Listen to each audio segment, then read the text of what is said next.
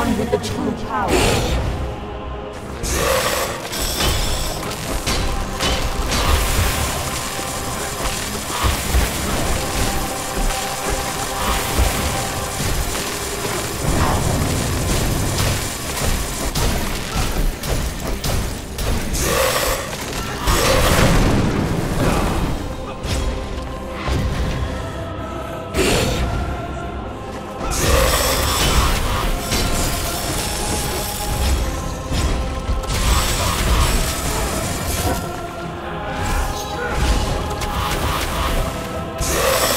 It's like.